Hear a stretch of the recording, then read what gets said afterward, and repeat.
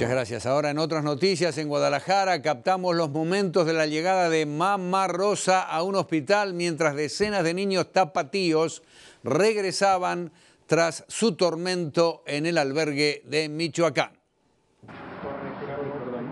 Así lucía Mamá Rosa en el hospital de Zamora, Michoacán, antes de salir hacia Guadalajara, Jalisco. En las afueras del hospital, cientos de personas esperaban verla, algunos para defenderla y la mayoría para acusarla. Pero a escondidas, por una puerta lateral, fue sacada en una ambulancia, como se observa en estas imágenes. En Guadalajara, en el hospital privado Puerta de Hierro, algunos habían esperado toda la noche por su arribo. Al mismo tiempo, una caravana de vehículos llegó a la ciudad con decenas de menores rescatados del refugio del terror de Mamá Rosa.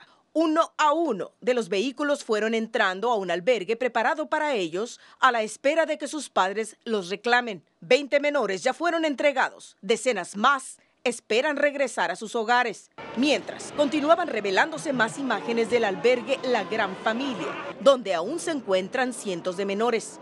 El video muestra la terrible realidad en la que vivían más de 500 niños.